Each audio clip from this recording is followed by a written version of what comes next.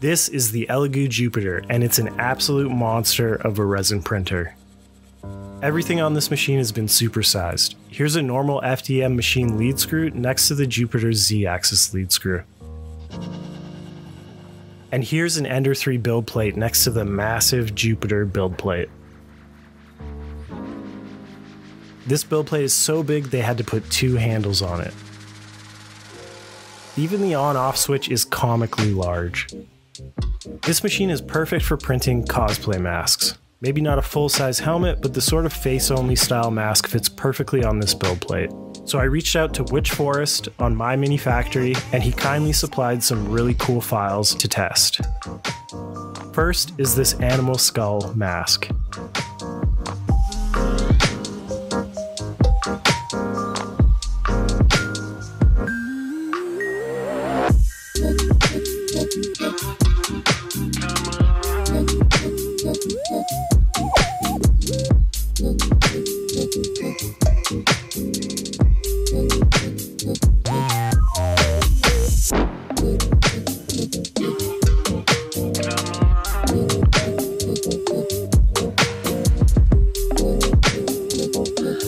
Although this mask was calculated to take 800 milliliters of resin, the last quarter of my 1 liter bottle ended up at the front edge of my vat since I didn't properly level the machine.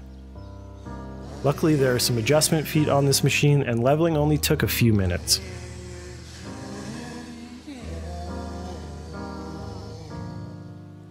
One thing this printer has is an auto-fed resin vat.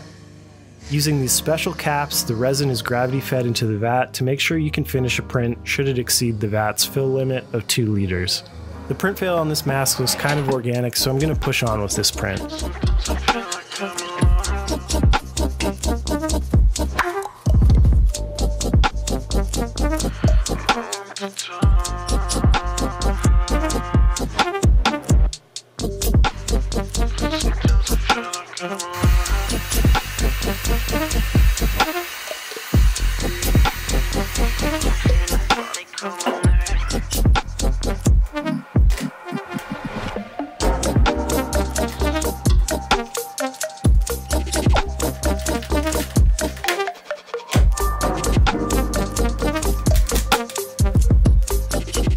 After cleaning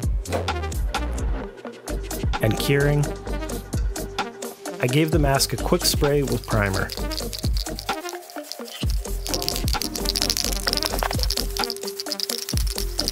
A coat of brown acrylic paint followed by a good wipe down gave me the off-white bone color I was looking for, giving the cracks and crevices some more contrast.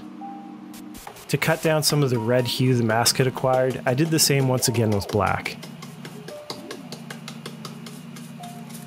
And of course, I had to add some spattered red paint. And here's the final result.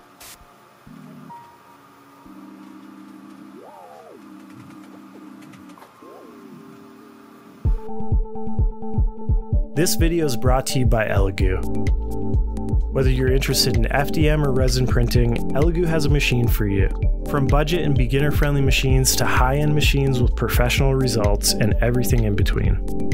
Head over to the link in the description and help support the people who support this channel.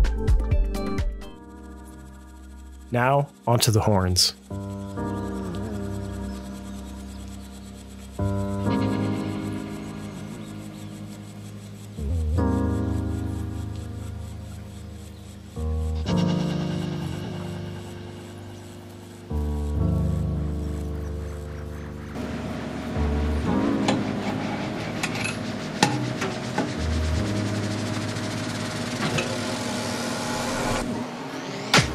After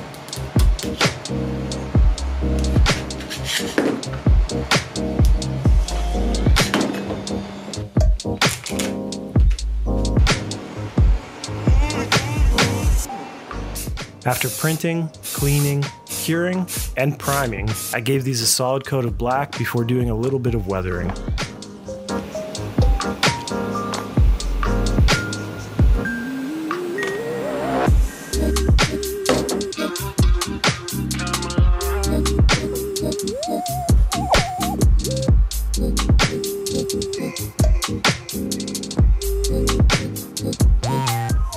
I glued these on using super glue and added some attachment points for an elastic headband.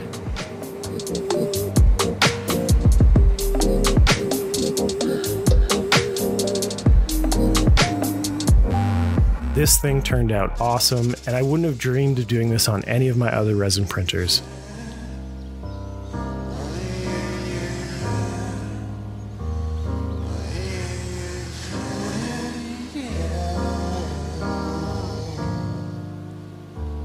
Next, I wanted to really put this machine's resolution to the test.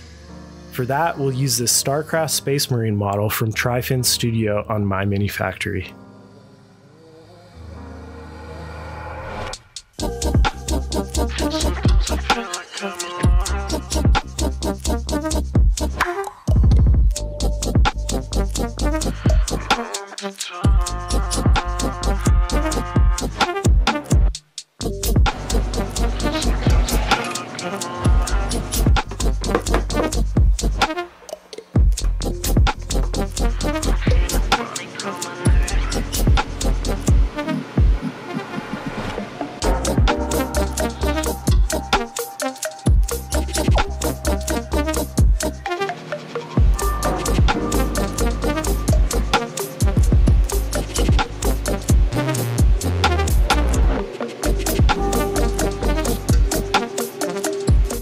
And here's the Space Marine.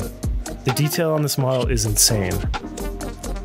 I still have some sanding and primer to do on this model, but I think it turned out great. I hope this gave you some insight into the capabilities of this machine and whether or not it would fit into your workflow. I'll leave a link in the description where you can check out the full specs of this printer. As always, thanks for watching and happy printing.